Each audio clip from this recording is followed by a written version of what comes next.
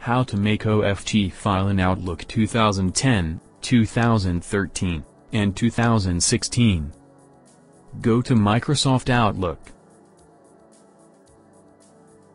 Start Microsoft Outlook Personal Information Manager, PIM, program and choose a new email option.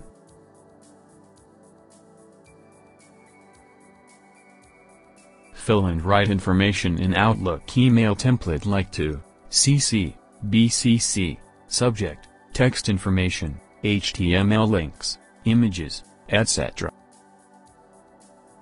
After that press the File button to continue.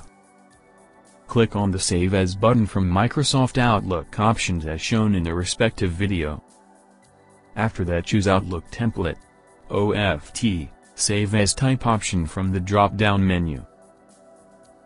Thereafter, click on the Save button to store OFT file at default storage location.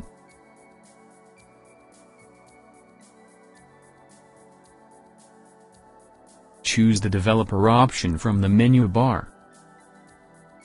If you are unable to find a developer option in your MS Outlook, follow these steps.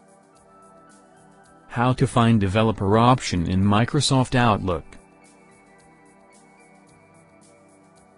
Right-click on anywhere of Outlook menu bar and choose to customize the ribbon option. After that, check the developer option and press the OK button. Now you will be able to see developer option in your Microsoft Outlook menu ribbons. Now select Developer Choose Form option from Outlook. Choose User Templates in Lookin option from the drop-down.